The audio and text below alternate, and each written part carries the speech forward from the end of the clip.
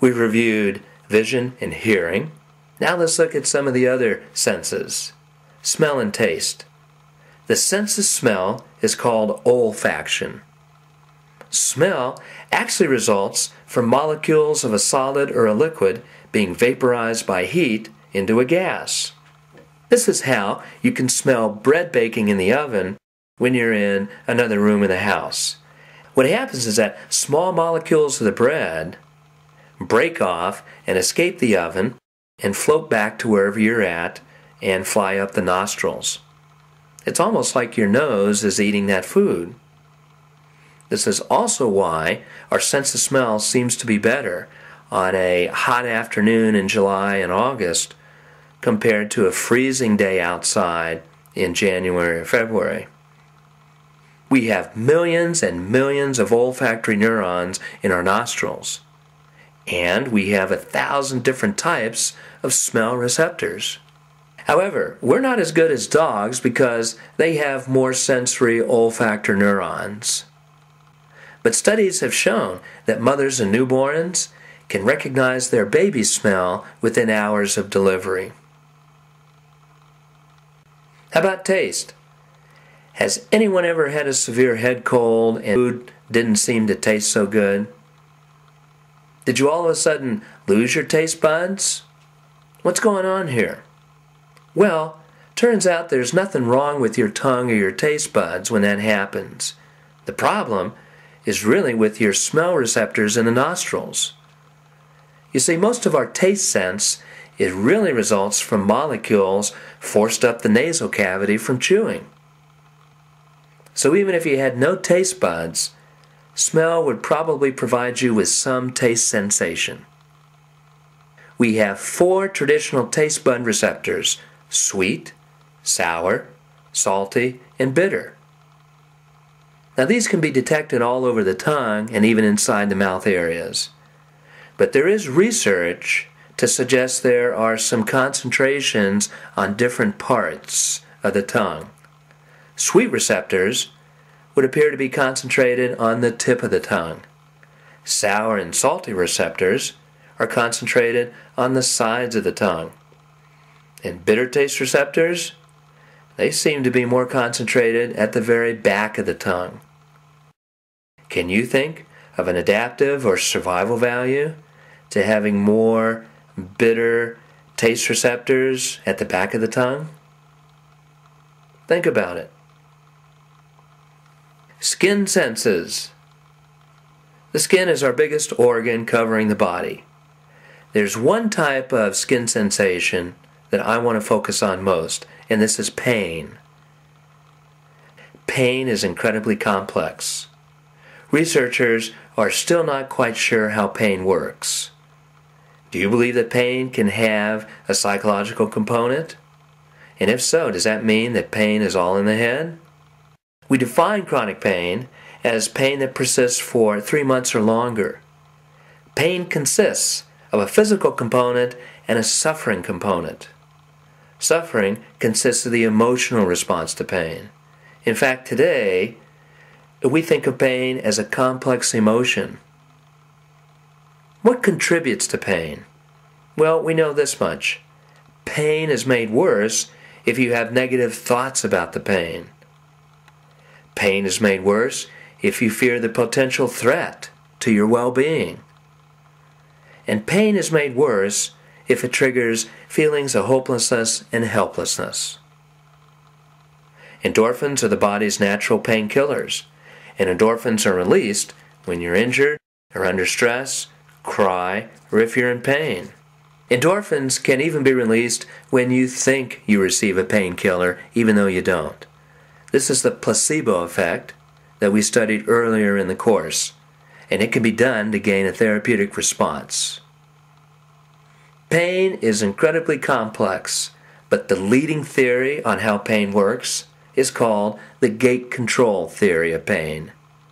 Here is what the theory says Pain is caused by small, slow conducting nerve fibers. These nerve fibers reach a theoretical gate in the spinal cord, causing it to open. But when you're in pain, you might rub, massage, apply ice or heat to the pain. We seem to do this because it helps activate large fast conducting nerve fibers to compete. These large fast conducting nerve fibers carry other sensory information to tie up traffic at the gate. And when this happens, it effectively closes the gate and keeps pain messages from getting through. Here's an analogy that may make sense. Remember the old joke about the guy who complains of a headache? His buddy tells him to lay out his hand on a tabletop, and then he smashes his buddy's hand with a hammer. He asks, How's your headache? And you say, My headache's gone, but now my hand hurts. This is the idea of competing stimuli. The gate control theory also helps us understand how emotional and psychological factors affect pain.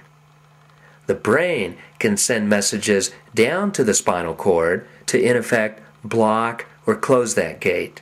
For example, it is well known how a soldier in the battlefield can be distracted and not feel pain from an injury until afterwards.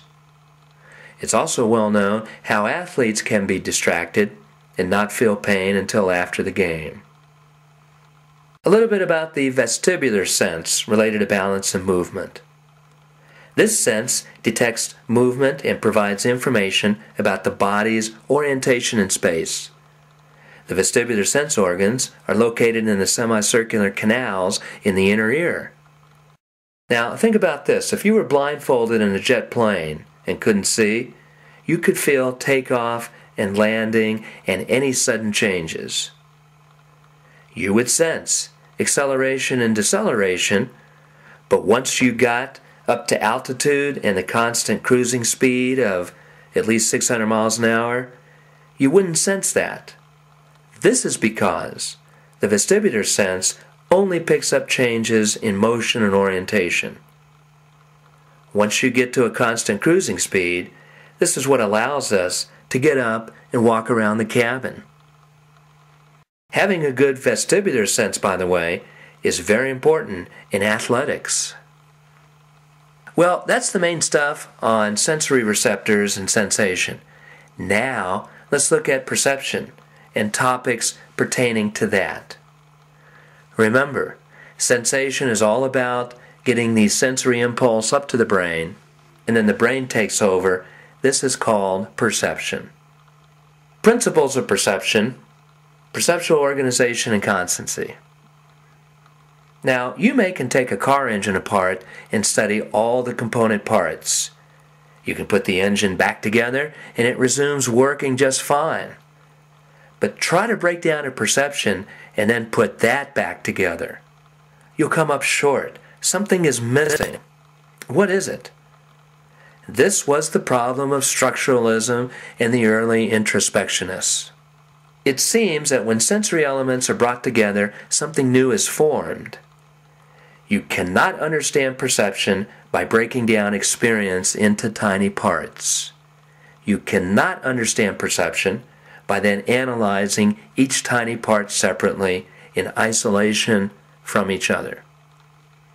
A popular expression in psychology is the whole is greater than the sum of the parts. What is added to sensory elements are principles of organization and constancy.